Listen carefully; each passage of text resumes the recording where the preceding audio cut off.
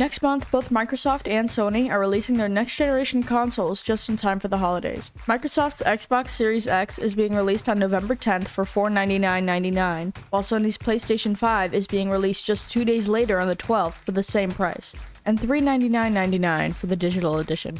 Now, there are a lot of factors to consider when deciding which console to buy, such as price, specs, and console exclusives, but many people are just going to buy the console that succeeds their current one.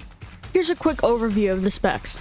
The PS5 has ray tracing, ultra high speed SSD, which allows near instant load times, 4K TV gaming, up to 120 FPS, HDR technology, 8K output, and backwards compatibility for games. The Xbox Series X has a split motherboard, which evenly controls the temperature for a higher output of power, heatsink to increase performance reliability, a vapor chamber to evenly spread temperatures within the core, a whisper quiet fan that allows the console to run smoothly and cool quietly, and backwards compatibility for games. But in the end, the decision is yours.